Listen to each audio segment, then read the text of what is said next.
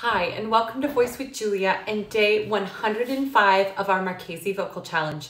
Today, we are doing exercise 154, beginning with our triplets. Voice with Julia, change your voice, change your life.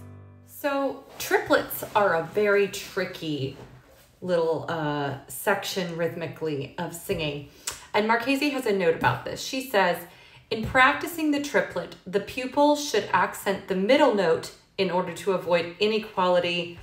The general tendency is to make the first a dotted note. So instead of da da da da da da, that's kind of what our tendency is going to be. So you want to think da da da da da da da da da da da da. So if you accent that middle note, that will keep the rhythm equal equal instead of da da da da da da da da da da da da da da da da da da da. Okay? If this is difficult for you, I suggest putting a light consonant on like la la la la la la just so you can feel that rhythm first and have a little bit more control. And then eventually you're going to take off the consonant. And here is exercise 154. Oh,